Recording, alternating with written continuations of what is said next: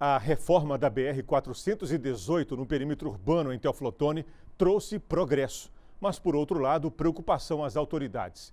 O risco de multas e até a perda da licença da carteira de habilitação aumentaram.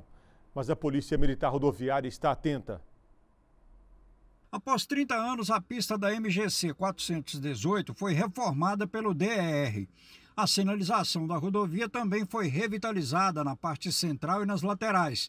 Todo o perímetro urbano tem faixa contínua. Como forma de alerta, a polícia realiza blitz com informações sobre o risco de até perder a licença para dirigir. Nós estamos fazendo esse trabalho de prevenção para orientar justamente para evitar não só a multa, mas também acidentes. Muitos motociclistas têm se envolvido em colisões. Uma sinalização nova, né? A gente tem que ficar mais atento. Ainda mais sabendo agora do valor, né?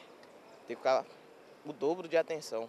O perímetro urbano da MGC 418 tem aproximadamente 5 quilômetros de extensão.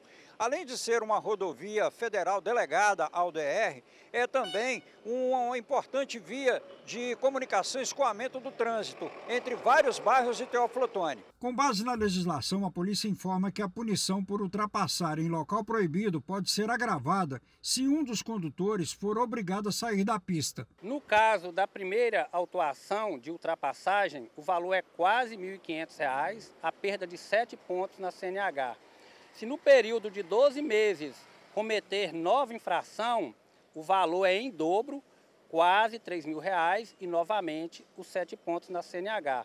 Mas aí vem um detalhe, se esse motorista, principalmente os motociclistas, se ele realizar a forçagem da ultrapassagem, ou seja, obrigar que o veículo em sentido oposto tenha que desviar, é quase 3 mil reais, ainda gera a suspensão da CNH. Lembrando que o acostamento também está sinalizado e não pode realizar a ultrapassagem pela direita.